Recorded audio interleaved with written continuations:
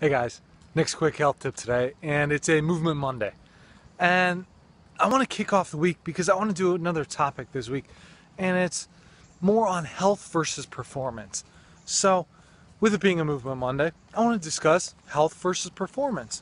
So, there are really two different ways that you, well, there are more than two, but from the standpoint of, okay, moving to just be healthy, well, that can really come in the form of probably doing a little bit of weightlifting and maybe some sprints and then just general movement throughout the day making sure that you're continuously moving.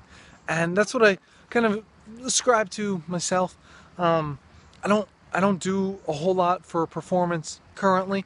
Like i do compete in strongman once in a while uh, events and i'll be much more performance based with my movement practices then uh, on the exact movements that i'm doing on the exact lifting protocols that I'm using and whatnot.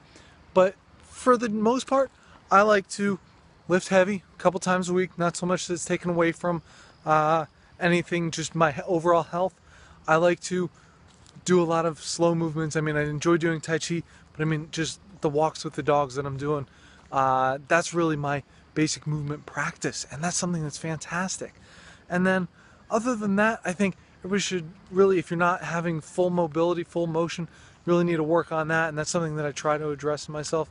Um, but those are that's that's pretty good right there. Just making sure you're not sitting, you're not stagnant all the time. However, if you're going for performance, now you're gonna have to tailor it. If you're a baseball player, if you're a swimmer, uh, anything like that, you're really gonna have to think about okay, I need to perform this task, and this is what I'm going for. So your movement patterns are going to be much more precise, much more specific to that exact activity. So if you have more, uh, if you want to find out more quick tips like this, head over to my website, sign up for the newsletter. While you're there, take the free brain health quiz. See how your brain's working. And if you do so, I will send you my four morning secrets to perfect brain health.